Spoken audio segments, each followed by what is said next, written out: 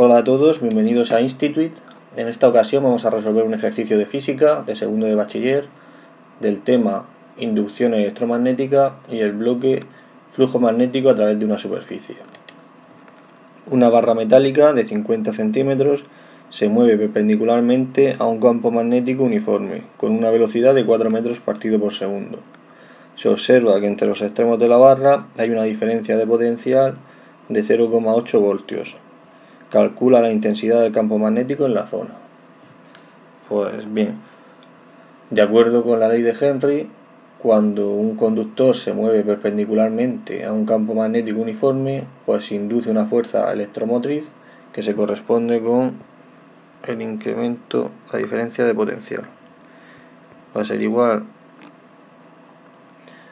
a este, esta fuerza electromotriz y se puede expresar como la velocidad por el campo por la longitud.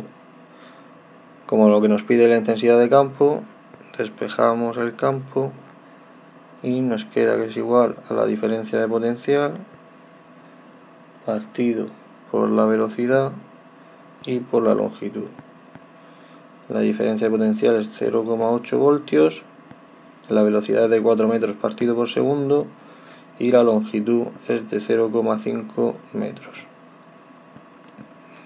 Y operando nos sale que la intensidad de campo es de 0,4 teslas.